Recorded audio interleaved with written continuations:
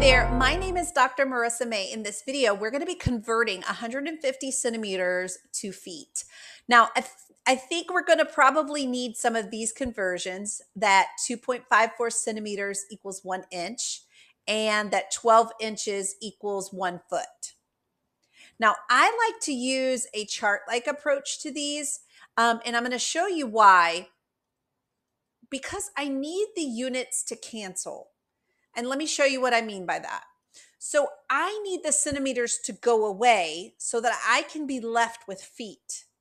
So when I use my first conversion here, I need the centimeters to go away. And in order for the centimeters to go away, they have to be on the bottom so that they will cancel. Now I put the numbers in there. 2.54 centimeters is one inch. So notice my centimeters have gone away, but my inches are staying. And so now I want the inches to go away. So I'll put the inches on the bottom with my next conversion. And notice they cancel. That's the good part about this and using a chart. Now, when you're ready to do the numbers, you're going to multiply across the top.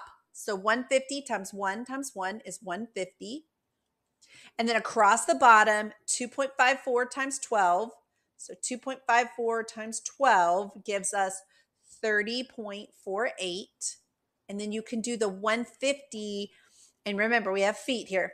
You can do the 150 divided by that 30.48.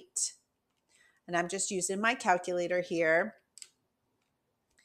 And that gives me four point, and we want one decimal place, nine feet. Okay, so use your chart approach to get those units to cancel, and hopefully that's going to help you. All right, friends, have a great week.